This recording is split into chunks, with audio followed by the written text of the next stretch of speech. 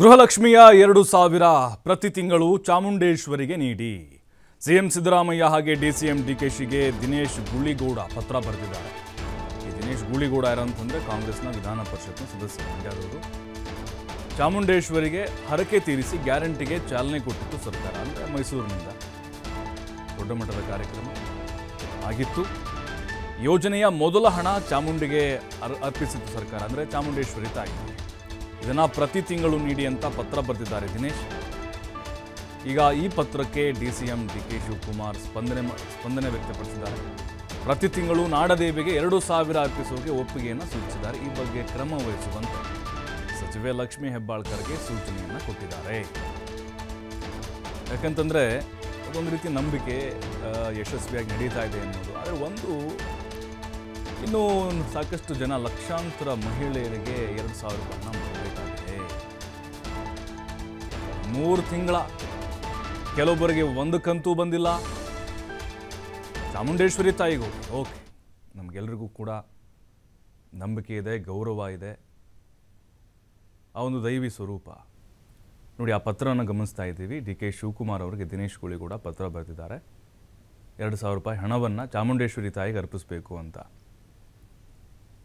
ಅಲ್ಲಿಂದಲೇ ಚಾಲನೆ ಸಿಕ್ಕಿತ್ತು ಗೃಹಲಕ್ಷ್ಮಿ ಯೋಜನೆಗೆ.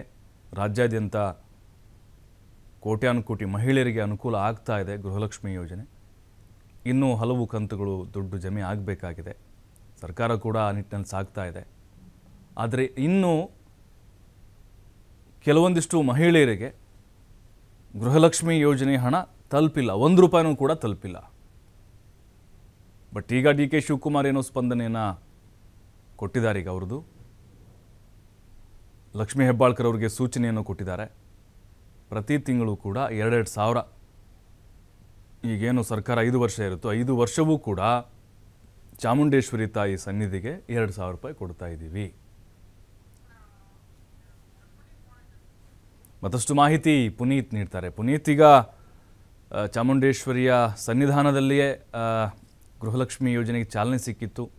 ಈಗ ಒಂದು ರೀತಿ ಆ, ತಾಯಿ ಮೇಲಿರುವಂತಹ ನಂಬಿಕೆ ಅದರ ಜೊತೆಗೆ ರಾಜ್ಯದ ಜನರಿಗೆ ಒಳಿತಾಗಲಿ ಗೃಹಲಕ್ಷ್ಮಿ ಯೋಜನೆ ಇನ್ನೂ ಕೂಡ ಅದು ಸಕ್ಸಸ್ ಆಗಲಿ ಅನ್ನುವಂಥ ಒಂದು ವಿಶ್ವಾಸದ ಮೇರೆಗೆ ಈ ಒಂದು ಪತ್ರ. ಆದರೆ ಇನ್ನೊಂದು ಏನಂದರೆ ಈಗ ಉಳಿದಂತಹ ಸಾಕಷ್ಟು ಸಂಖ್ಯೆ ಮಹಿಳೆಯರಿಗೆ ಮೊದಲ ಕಂತು ಕೂಡ ಹಣ ಬಂದಿಲ್ಲ.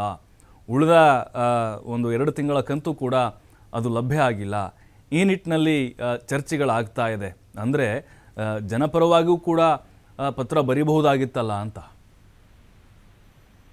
ಹೌದು ಪ್ರಭು, ಇಲ್ಲಿ ಗೃಹಲಕ್ಷ್ಮಿ ಯೋಜನೆ ಏನಿದೆ, ಇದು ಬಹಳಷ್ಟು ಜನರಿಗೆ ಇವತ್ತಿಗೂ ಕೂಡ ತಲುಪಿಲ್ಲ.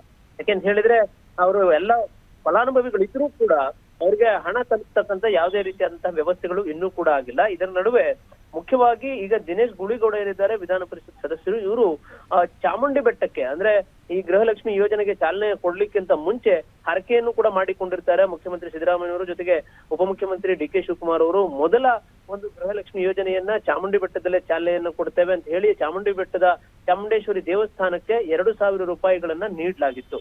ಅದರಂತೆ ಏನು ಪ್ರತಿ ಬಾರಿಯೂ ಕೂಡ ಚಾಮುಂಡೇಶ್ವರಿ ದೇವ, ದೇವಸ್ಥಾನಕ್ಕೆ ಎರಡು ಸಾವಿರ ರೂಪಾಯಿಗಳನ್ನ ಈ ಒಂದು ಗೃಹಲಕ್ಷ್ಮಿ ಯೋಜನೆಯ ಹಣವನ್ನ ನೀಡಬೇಕು ಅಂತ ಹೇಳಿ ಈಗ ದಿನೇಶ್ ಗುಳಿಗೌಡ ಅವರು ಪತ್ರವನ್ನ ಬರೆದಿರ್ತಕ್ಕಂಥದ್ದು. ಈ ಒಂದು ಪತ್ರಕ್ಕೆ ಏನು ಡಿ ಕೆ ಶಿವಕುಮಾರ್ ಅವರು ಕೂಡ ಸ್ಪಂದಿಸುವಂತ ಒಂದು ಕೆಲಸವನ್ನ ಮಾಡಿದ್ದಾರೆ. ಪ್ರತಿ ತಿಂಗಳು ಕೂಡ ನಾಡದೇವಿಯ ಚಾಮುಂಡೇಶ್ವರಿಯ ದೇಗುಲಕ್ಕೆ ಎರಡು ಸಾವಿರವನ್ನ ಅರ್ಪಿಸಲಿಕ್ಕೆ ಒಪ್ಪಿಗೆಯನ್ನು ಕೊಡೋದ್ರ ಜೊತೆಗೆ ಇದ್ರ ಬಗ್ಗೆ ಗಮನ ಹರಿಸುವಂತೆ ಸಚಿವ ಲಕ್ಷ್ಮೀ ಹೆಬ್ಬಾಳಕರ್ ಅವರಿಗೂ ಕೂಡ ಸೂಚನೆಯನ್ನ ಕೊಡ್ತಕ್ಕಂತ ಒಂದು ಕೆಲಸವನ್ನ ಮಾಡ್ಲಾಗುತ್ತೆ ಅಂತ ಹೇಳಿ ಪತ್ರವನ್ನ ಬರೆದು ಅದಕ್ಕೆ ಸಹಿಯನ್ನು ಹಾಕಿ ಕೂಡ ಕಳಿಸಿರ್ತಕ್ಕಂಥದ್ದು. ಇನ್ನ ದಿನೇಶ್ ಗೂಡಿಗೌ ಗುಳಿಗೌಡ ಅವರು ಏನು ಚಾಮುಂಡಿ ಬೆಟ್ಟಕ್ಕೆ ಪ್ರತಿ ತಿಂಗಳು ಎರಡು ಸಾವಿರ ರೂಪಾಯಿಗಳನ್ನ ನೀಡಬೇಕು ಅಂತ ಹೇಳಿ ಏನ್ ಪತ್ರವನ್ನ ಬರೆದಿದ್ದಾರೆ, ಈ ಒಂದು ಪತ್ರವನ್ನ ಬರೆಯೋದ್ರ ಜೊತೆಗೆ ರಾಜ್ಯದಲ್ಲೂ ಕೂಡ ಬಹಳಷ್ಟು ಗೃಹಲಕ್ಷ್ಮಿಯರೇನಿದ್ದಾರೆ, ಇವರಿಗೆ ತಲುಪಬೇಕಾದಂತಹ ಹಣ ತಲುಪುತ್ತಾ ಇಲ್ಲ. ಇದ್ರ ಬಗ್ಗೆ ಇವರಿಗೆ ಗಮನ ಇರಬೇಕಿತ್ತು ಅಂತಾನು ಕೂಡ ಹೇಳ್ಬಹುದು ಯಾಕೆಂತ ಹೇಳಿದ್ರೆ ಇದರ ಒಂದು ಜವಾಬ್ದಾರಿ ಇರ್ತಕ್ಕಂಥವ್ರು ಆ ಒಂದು ಗೃಹಲಕ್ಷ್ಮಿಯರ ಜವಾಬ್ದಾರಿಯನ್ನು ಕೂಡ ಹೊತ್ತಂತದ್ದು ಮುಖ್ಯವಾದಂತಹ ಒಂದು ಅಂಶ.